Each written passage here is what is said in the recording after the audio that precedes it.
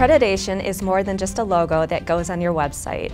It shows a commitment to quality assurance and continuous quality enhancement for your program. Colleges and universities, hospitals, and labs are accredited.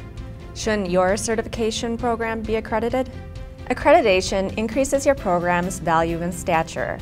Through the accreditation process, programs must demonstrate that they meet standards for the profession, set forth by an objective third party. Accreditation requires applicants and organizations to evaluate what they are doing well and what can be improved upon to bring the greatest benefit to stakeholders, the profession, and the industry served by the certification. Accreditation helps you gain recognition from your peers, senior leaders, and the general public.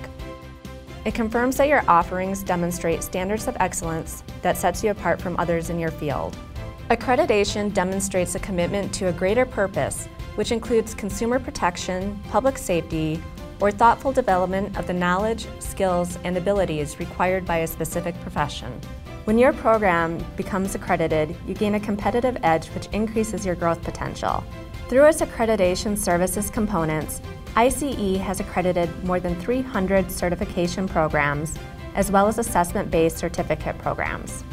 Accreditation lends credibility by helping to ensure to the public that the program is valid and reliable because an objective third party has reviewed it.